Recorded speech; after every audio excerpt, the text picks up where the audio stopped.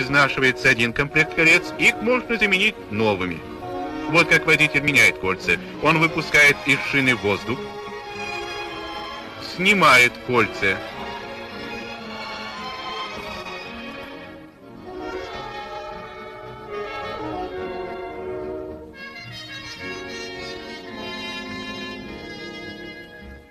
затем одевает новые.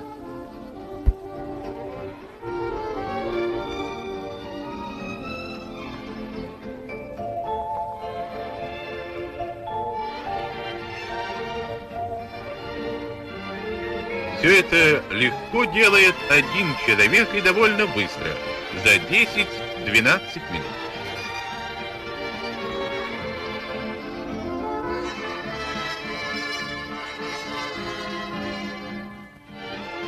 Новая шина по своим конструктивным особенностям не только в